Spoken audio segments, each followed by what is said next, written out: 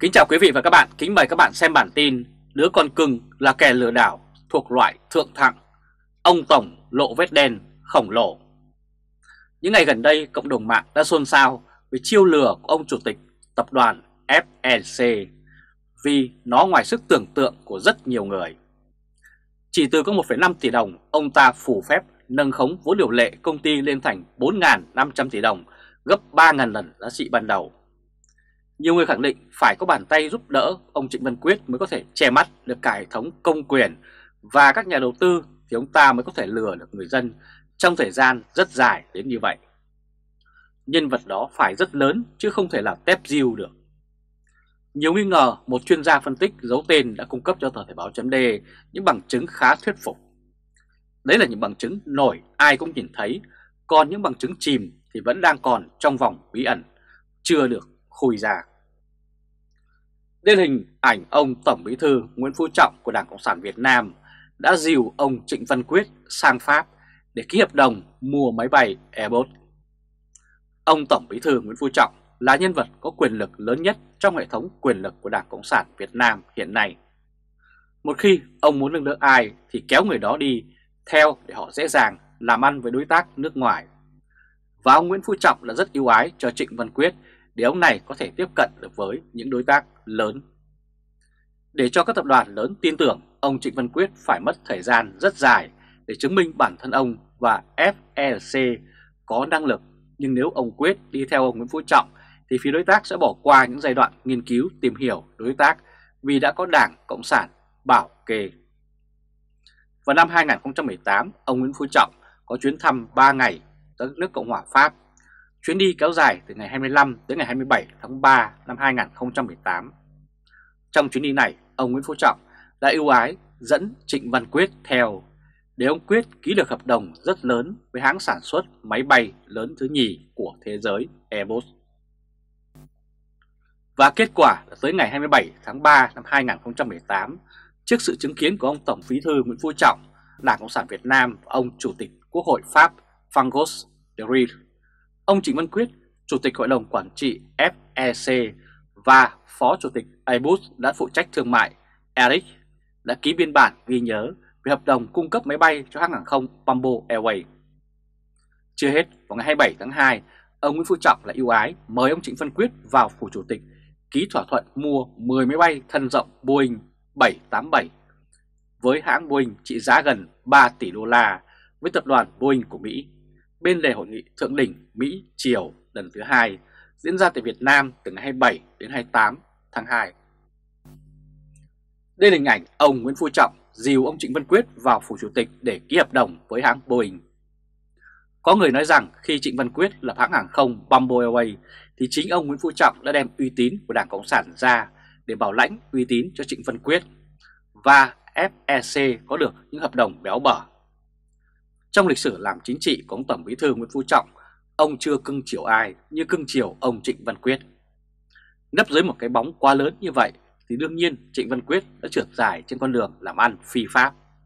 Đây là cái họa mà không chỉ làm tiêu tan sự nghiệp chính trị của ông Trịnh Văn Quyết và làm ăn kinh tế của ông ta mà còn mang lại cái họa rất lớn cho người dìu dắt ông Trịnh Văn Quyết. Đó chính là ông Nguyễn Phú Trọng. Ông Nguyễn Phú Trọng vốn đã dính đến huân chương lao động hạng 3 tặng thưởng cho Việt Á đã làm cho thanh danh của ông có một vết đen. Nếu xét thời kỳ ông làm bí thư thành ủy thành phố Hà Nội thì ông cũng lại dính thêm một ven đen nữa ở dự án bất động sản Chipucha. Có người nói rằng dạo này ông Nguyễn Phú Trọng dính vết đen ngoài ý muốn, có vẻ như sự nghiệp chính trị của ông đang đi xuống. Ông là người chủ lò mà bản thân ông không trong sạch thì ông giáo huấn được ai trong đảng của ông bây giờ. Đây là hình ảnh nhờ ông Tổng Trịnh Văn Quyết được bắt tay với Donald Trump. Đã 10 năm nay, ông Nguyễn Phú Trọng xây dựng hình ảnh của ông khá thành công. Tuy nhiên, hình ảnh này có thể gặp thử thách rất lớn khi bản thân ông này ngày một lộ rõ là bàn tay nhúng chàm chứ không trong sạch như người ta vẫn tưởng từ trước đến nay. Kính chào quý vị và các bạn, kính mời các bạn xem bản tin rút tiền không được trốn thoát không xong, thòng lọng đang đến gần vượng Vin. Có thể nói việc ông Trịnh Văn Quyết của tập đoàn FEC đang bị phanh phui ra trò lừa đảo khủng Và việc Tân Hoàn Minh cũng bị truy tố tội tương tự cho thấy bức tranh của ngành bất động sản tại Việt Nam nó ảm đạm đến như thế nào. Ông Phạm Nhật Vượng đang bị người dân nghi ngờ là người chưa bị lộ mà thôi. Trước đây, ông Trịnh Văn Quyết đến đều là cơ quan cấp tỉnh tiếp đón nồng hậu, ủng hộ hết mực cho các dự án mà bây giờ mọi thứ xem như sụp đổ. Trịnh Văn Quyết không phải là doanh nhân mà là con người lừa đảo thì liệu rằng các doanh nghiệp chưa bị lộ kia thực sự sẽ là gì? Đó chính là câu hỏi mà nhiều người đang đặt ra hiện nay. Đây là hình ảnh ông tỷ phú giàu nhất Việt Nam Phạm Nhật Vượng. Có nhà phân tích giấu tên đã bình luận với tờ Thời báo chấm rằng Phạm Nhật Vượng là con cá lớn, muốn bắt thì phải chuẩn bị thật kỹ mồi lớn, lưỡi câu khủng, dây câu thật chắc, vật và lưới thật tốt để nó khỏi sòng. Nếu chưa chuẩn bị kỹ mà bắt Vượng Vin thì con cá khủng này dễ dụa thật mạnh, không ai ghim cương nó được. Vị này cho rằng việc bắt ông Phạm Nhật Vượng chỉ là vấn đề thời gian mà thôi. Cũng theo như nhận định của tờ Thời báo chấm thì nhận xét đó không phải là không có căn cứ và cơ sở. Bởi vì nó có vẻ như từ trước đến nay đã gần 2 tháng nhưng không thấy ông Phạm Nhật Vượng đặt chân xuất ngoại. Việc bác bỏ tin đồn cấm xuất cảnh đã được ông Tuân Sô, tránh văn phòng của Bộ Công an Việt Nam bác bỏ. Nhưng với giới thảo tin thì họ vẫn xem hành động ông Vượng nhiều hơn là nghe lời khẳng định của ông đại diện Bộ Công an này. Có người thì cho rằng hành động lên tiếng bác bỏ tin đồn của Bộ Công an Việt Nam cách đây gần 2 tháng là hành động giấu giếm, hành động quản thúc ông Vượng của Bộ Công an, chứ không phải là Bộ Công an là công cụ của ông Phạm Nhật Vượng. Việc ông Vượng chưa thể bước chân ra khỏi lãnh thổ Việt Nam sau gần 2 tháng làm người ta nghi ngờ có một mệnh lệnh ngầm cấm ông chủ Vingroup xuất cảnh là rất có cơ sở. Việc ông Vượng cứ luẩn quẩn trong nước thời gian khá lâu sau khi tin đồn được cho là ông Vượng có muốn thoát cũng không thể được. Chính quyền của Đảng Cộng sản Việt Nam có vẻ như đang muốn nhốt ông Phạm Nhật Vượng vào cái lồng để con cá lớn không thể sọc chuồng. Đó là nhiều người nhận định như vậy. Đây là hình ảnh ông Trịnh Văn Quyết là một tiếng chuông cảnh báo cho ông Phạm Nhật Vượng hiện nay và dường như ông Vượng cũng sẽ không tránh khỏi số phận tương tự. Việc chuyển hết cổ phần của công ty VinFast sang Singapore là dấu hiệu ông Vượng dường như muốn rút tiền để tháo chạy.